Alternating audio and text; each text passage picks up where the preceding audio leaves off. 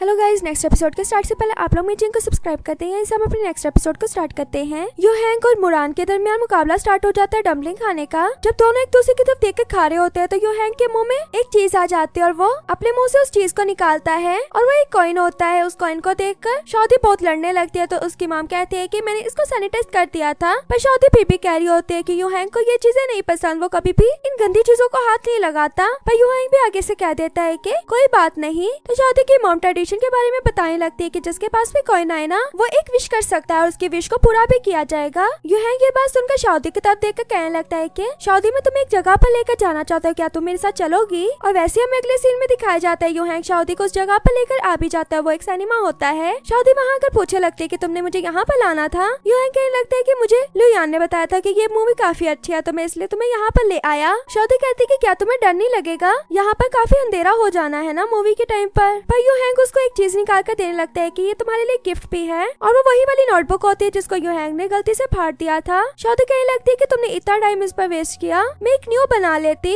पर you hang कहने लगता है कि ये जितना भी हार्ड था, पर मुझे ये तुम्हारे लिए करना था तो मैंने कर लिया। पर यू हैंग कहने लगता है कि मैं तुम्हें लिटर स्टार के बारे में बताना चाहता हूँ कुछ। शौदी कहने लगती है कि तुमने लिटर स्टार को ढूँढने में काफ़ी साल लगा दिए हैं। इसलिए मैं तुम दोनों के दरमियान में नहीं आना चाहती। तुम्हारे दिल में उसके लिए बहुत वैल्यू है और मेरे लिए इतना ही कहने लगते तो यू हैंग शौदी के हाथों को पकड़ लेता है और कहने लगता है कि तुम मेरे लिए बहुत इम्पोर्टेंट हो? एक जो सात साल का यू हैंग था ना, उसके लिए वो लिटर स्टार इम्पोर्टेंट थी, पर अब वाले यू हैंग के लिए शौदी है और वो अब शौदी को अपने से दूर नहीं करना चाहता। शौदी कहने लगती है की, पर तुम अब ऐसा क्यों कह रहे हो? यू हैंग कहने लगता है की, ताकि तुम कुछ गलत ना समझो। मेरे लिए अब जो भी हो ना, वो तुम ही हो। प्लीज़ अब मुझे छोड़कर मत जाना। तो शौदी कहने लगती है की, अगर मैं तुम्हें छोड़कर चली गई ना तो पीछे से तुम्हारी प्रोटेक्ट कौन करेगा? यू हैंग कहने लगता है की, तुम ना बस मुझे छोड़ के जाना, पता नहीं मेरा क्या होगा। शौदी कहती, किसने कहा? मैं तुम्हें छोड़कर जा रही हूँ। यू हैंग कहने लगता है कि इसका मतलब तुमने मुझे माफ़ कर दिया। शादी कहने लगती है कि हाँ यू हैंग अपने हैंड को ऊपर करते हुए कहने लगता है कि, पिंकी प्रॉमिस करो। जैसे शादी उसके साथ पिंकी प्रॉमिस करने लगती है, इतने में मूवी स्टार्ट हो जाती है, वैसे ही यू हैंग मूवी के स्टार्ट होने पर डर जाता है। शादी कहने लगती है कि, ये तो बस मूवी की स्टार्टिंग थी। और यू हैंग को अपने साथ बिठा लेते हैं और कहने लगती है कि, मैं तुम्हारे साथ हूँ ना? और यू हैंग भी शादी को पकड़कर अपने साथ लगा लेता है। शादी कहने लगती है कि, ये तुम क्या कर रहे हो? यू हैंग कहने लगता है कि ऐसे करके मैं और भी कंफर्टेबल हो जाता हूँ। शादी उसकी बात पर हँसते हुए कहने लगते है कि ये भी क्या तुम्हें लुयान ने सिखाया है?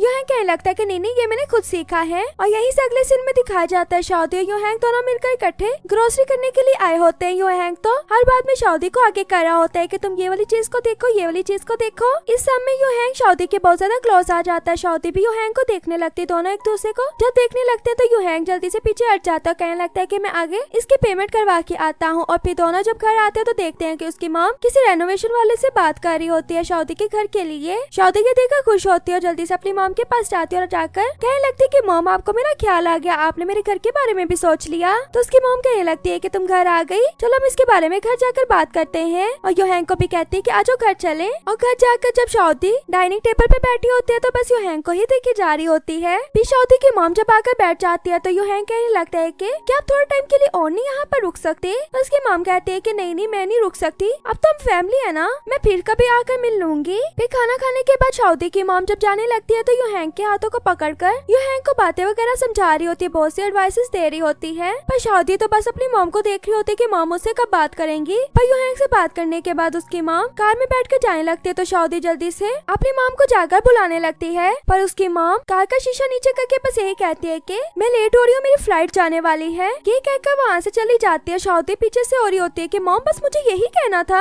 क्या अब ये आपका बेटा है मैं आपकी बेटी नहीं हूँ? और यू हैंग को जब पीछे की तरफ़ देखती है तो? यू हैंग अभी तक उसकी मॉम की कार को ही देखे जा रहा होता है। शादी कहती है कि वो तो इतने आगे निकल गए, तुम अभी तक वहाँ क्यों देखी जा रहे हो? यू हैंग कहने लगता है की मैं ना अभी ऑफ़िस में जा रहा हूँ। शादी कहने लगती है की तुमने तो आज ऑफ़ नहीं लिया था। चलो, मुझे भी काम है, मैं भी तुम्हारे साथ चलती हूँ। शादी आगे आगे जा रही होती पर पीछे से तो? यू हैंग अपना रास्ता ही चेंज कर लेता है, वापस घर की तरफ़ जाने लगता है। ये देख कर शादी फिर से यू हैंग के पास आती है। यू हैंग कहने लगता है की मुझे दोबारा से डम्बलिंग खाने हैं? शादी कहती कि मैं तुम्हें बना दूँगी। यू कहने लगता है कि तुम्हारे हाथ के नहीं, तुम्हारी मॉम के हाथ के खाने हैं। शादी उसकी ये वाली बात सुनकर कहने लगती है की तुम तो मेरे मॉम के बनाए हुए सारे डम्पलिंग खा चुके हो। पर फिर भी यू हैंग कहकर चला जाता है की मुझे बस तुम्हारी मॉम के हाथ के खाने हैं। इतने में पीछे से शादी को भी एक मैसेज आ जाता है, जो उसकी मॉम उसके बैंक में काफ़ी ज़्यादा पैसे ट्रांसफ़र करके गई थी। ये देखकर तो शादी खुश हो जाती है। और मुरान दिखाया जाता है, मुरान के पास हॉबी आई होती है। मुरान ने तो ये सोचा होता है की वो शादी को कल प्रपोज कर देगा, वो भी कॉन्फ्रेंस सेंस में? हाउ उसको काफ़ी समझा रही होती है, पर मुरान कहने लगता है कि नहीं नहीं, हाउ तुम्हें मेरा साथ देना होगा? मैंने तुम्हें अपनी सिस्टर समझा हुआ है। सिस्टर की बात सुनकर हाउ भी मान जाती है मुरान का साथ देने के लिए। मुरान तो खुश हो जाता है हाउ के मानने पर, और हमें बिंग दिखाई जाती है जो लियोयान के साथ होती है। लियोयान उसको जाते हुए एक मेडिसिन देता है जो ज़्यादा खाने के बाद खानी होती है। बिंग कहने लगती है कि तुम्हें क्या लगता है मैं ज़्यादा खाती हूँ? लियोयान कहते हैं कि नहीं नहीं, मैंने तो तुम्हें वैसे ही दी है। फिर बिंग भी उसको निकाल कर एक मेडिसिन देती है, और लियोयान कहने लगता है कि ये किस चीज़ की तो बिंग कहते हैं कि तुम इतनी ट्रेनिंग करते हो, इतना जागते हो तो अगर तुमने ये वाली मेडिसिन ना ली ना तो तुम गंजे हो जाओगे। लियोयान कहने लगता है कि नहीं नहीं, मैं तो ट्रेनिंग के बाद सो जाता हूँ। बिंग कहती है कि मुझे पता है तुम कितना सोते हो।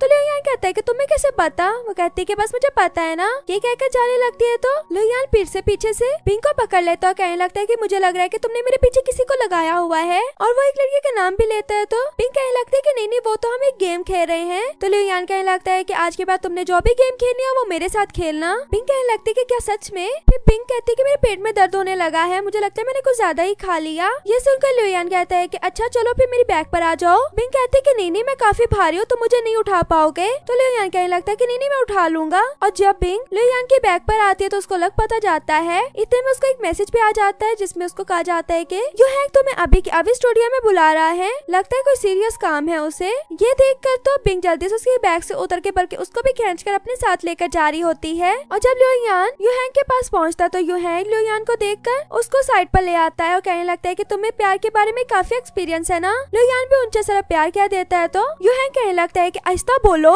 फिर यूहैंग कहने लगता है की, मुझे बताओ ना, प्यार के लिए लड़कियाँ क्या देखती है? लड़के में क्या होना चाहिए? लियोयान उसको पूरी हिस्ट्री समझाने लगता है की, लड़कियाँ हैंडसम देखती है स्वीट देखती है, पैसे वाला देखती है, इस तरह और भी बातें बता रहा होता है। और फिर साथ साथ ये भी बता देता है कि, तुम अमीर भी हो, तुम हैंडसम भी हो और तुम्हें बस थोड़ा स्वीट होना है, तुम काफ़ी कोल्ड हार्टेड लड़के हो। और वैसे हमें अगले सीन में दिखाया जाता है कि सऊदी अपने रूम में बैठकर डिज़ाइन वगैरह कर रही होती है, तभी यूहैंग उससे आकर कहने लगता है कि सऊदी भाई, मैंने खाना बनाया क्या तुम आकर उसको टेस्ट करोगे? पर सऊदी कहती है कि, तुमने बनाया है, पर अभी मेरे पास टाइम नहीं है, मैं बाद में आती हूँ। तुम जाकर खा लो। यूहैंग नहीं जाता, बल्कि यूहैंग को लियोयान की बात याद आती है की तुमने स्वीट रहना है तो वो सऊदी के पास पहुँच जाता है और जाकर सऊदी का हाथ पकड़ के कहने लगता है की सऊदी प्लीज़ आ जाओ ना बाहर, आ जाओ। सऊदी उसे ऐसे देखकर कहने लगती है कि क्या तुम्हें बुखार तो नहीं हो गया उसे चेक करने लगती है तो? यूहैंग पीछे हट जाता है। सऊदी उठकर यूहैंग से कहने लगती है कि तुम्हें ये सब किसने सिखाया? यूहैंग आगे से कहते हैं, नहीं, किसी ने भी नहीं। और कहने लगता है कि खाना ठंडा हो रहा है तो मैं जा रहा हूँ। अगर तुमने नहीं आना तो ना आओ। सऊदी कहने लगते कि नहीं नहीं, मैं आऊँगी। मैं क्यों नहीं आऊँगी? जब दोनों खाने के टेबल पे बैठ जाते सऊदी तो देख रही होती है की ये तो बाहर से मंगवाया हुआ खाना है। फिर यूहैंग को लियोयान की एक दूसरी बात याद आती है की लड़की को